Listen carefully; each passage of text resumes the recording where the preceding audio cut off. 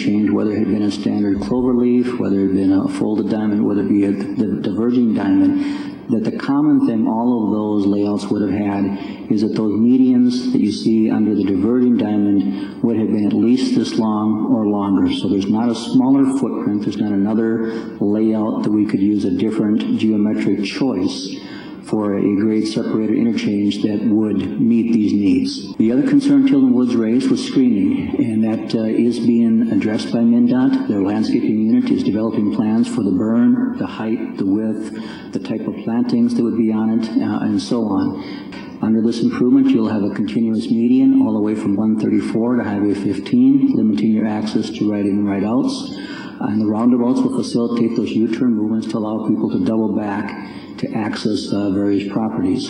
Two things have already been done. 50th Avenue uh, used to have a jog in it, and it was realigned so that it will line up with that uh, first roundabout at 134, the farthest west roundabout. And 23rd Street, that is in Sartell, also has a leg pointing straight south to line up with the middle roundabout.